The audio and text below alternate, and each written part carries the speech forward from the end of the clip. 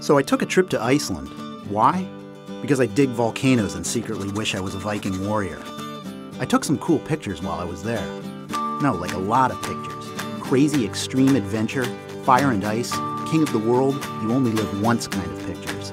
And I wanted to share them with a group of my adventure loving friends scattered around the world. You know the type, modern day nomads. But I wanted us to look at them together like we were all in the same room. Enter photo session from Flickr. I just invited who I wanted, wherever they were, whatever they were on, and let the show begin.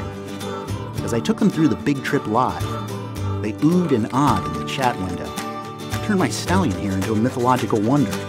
Some even took over the slideshow for themselves. How cool is that? So that's photo session from Flickr. Ja, ja, en even met smjöret. That's Icelandic for everything's better with butter.